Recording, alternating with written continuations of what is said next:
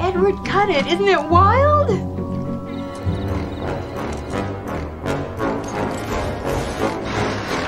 Sit right down there.